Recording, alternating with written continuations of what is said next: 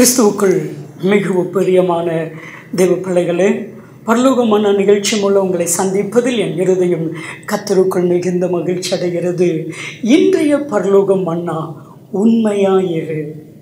பிரியமான தெய்வ பிள்ளைகளே நம்முடைய வாழ்க்கையில் நன்மைகளையும் ஆசீர்வாதங்களையும் கிருபைகளையும் எல்லா காரியங்களையும் நம்ம பெறணும்னா தேவனாய் கத்த நம்மிடத்தில் எதிர்பார்க்கிற காரியம் என்ன? உண்மாய் ஒன்று திமுத்தி ஒன்று பன்னிரெண்டில் பே பவுல் சொல்லுகிறார் அவர் என்னை உண்மை உள்ளவர் என்று எண்ணி உங்களையும் என்னையும் கத்த உண்மையுள்ள மனிதன் உண்மையுள்ள மனுஷி என்று எண்ணி கத்த நம்ம கையில் நிறைய காரியங்களை கொடுத்துருக்கிறார். குடும்பத்தை கொடுத்துருக்கிறாரு தொழிலை கொடுத்துருக்கிறாரு வேலையை கொடுத்துருக்கிறாரு ஊழியத்தை கொடுத்துருக்கிறாரு பிள்ளைகளை கொடுத்துருக்கிறாரு. ஆண்டவர் நம்மளை நம்பி இருக்கிறார்.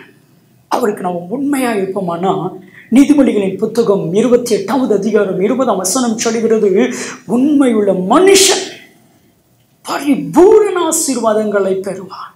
நம்ம லைஃப்பில் உண்மை. வேதாமத்தில் உண்மையாக இருந்த பலரை குறித்து வேதம் சொல்லுகிறது. ஆனால் நெகைமியா என்கிற தெய்வ மனிதன் ஆபிரகாமை குறித்து அறிமுகப்படுத்தும் பொழுது வேதம் சொல்லுகிறது நெகேமியாவின் புத்தகம் ஒன்பதாவது அதிகாரம் ஏழு எட்டு ஒன்பது வசனங்களை நீங்கள் வாசித்து பாருங்கள்.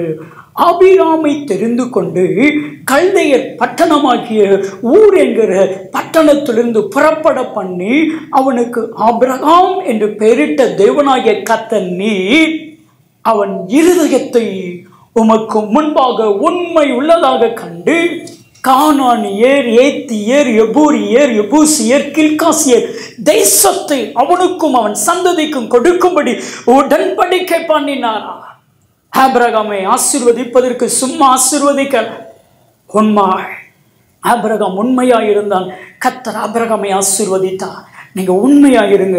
ஒரு மனிதனும் உங்களை ஒரு காரியத்திலும் குற்றம் சாட்ட முடியாது.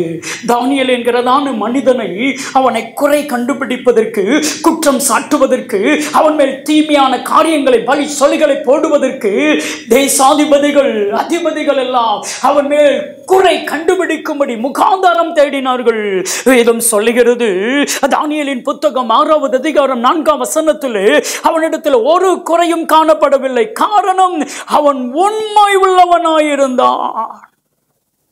உண்மை உள்ளவனாயிருந்தான். ஆகையால் தேசத்திலே கத்து அதிபதியாய் உயர்த்தினான் பிரியமான தெய்வ பிள்ளைகளே நீங்க இன்னைக்கு சொல்லுங்க.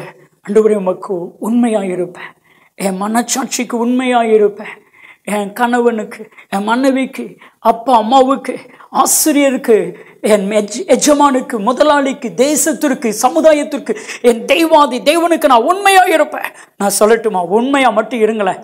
உங்களை ஒரு இடத்துல கத்த விட்டே கொடுக்க மாட்டான் ஒரு ஃபேமிலியில் ஒரு ப்ராப்ளம் கல்யாணத்தில் பிரச்சனை. இப்போ அக்காவும் அண்ணனும் சேர்ந்துக்கிட்டாங்க தம்பிகிட்ட சொல்கிறாங்க ஏன் உன்ட்ட தான் கத்த பேசுவாரா? எங்கிட்டலாம் பேச மாட்டாரா? தம்பியை திட்ட ஆரம்பிக்கிறாங்க. தம்பி மேலே கோபப்படுறாங்க. ஆனால் அடுத்த நிமிடம் வேதம் சொல்லுகிறது தெய்வனாய் கத்த மேக தூணிலே நின்றா. வேதம் சொல்லுகிறது இருபத்தி ஒன்று ஏழு என் தாசனாகி மோசை அப்படிப்பட்டவன் அல்ல அவன் உண்மையுள்ளவன். எபிரேய மூணு ரெண்டு எபிரேய மூணு ஐந்து மோசை கொடுத்து சாட்சி கொடுத்தா உண்மையுள்ளவன். மோசையை உயர்த்தி ஆசீர்வித்தது போல அப்ரகமை உயர்த்தி ஆசீர்வித்தது போல தானியலை உயர்த்தி ஆசீர்வித்தது போல உங்களையும் உயர்த்தி ஆசீர்வதிப்பார். என்னோடு இணைந்து ஜெபிப்பீர்கள்?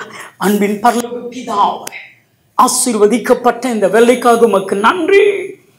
ஒரே உண்மையாயிருங்கிற இந்த பரலோக மன்னாவை பார்க்கிற ஒவ்வொருடைய வாழ்க்கையிலும் பேச்சிலும் நடக்கையிலும் செயலிலும் என் தெய்வாதி தேவனுக்கு உண்மையாயிருக்க அருள் புரிந்தருளும். அப்படி செய்கிறதற்காய் உமக்கு நன்றி. ஏசுவி நாமத்தில் செபிக்கிறேன் ஜீவன்ல பிதாவை. ஆமே ஆமே பிரியமானவர்களே பரலோக உண்மையாயிரு. உங்கள் வாழ்க்கையில் நன்மையை காண்பீர்கள்.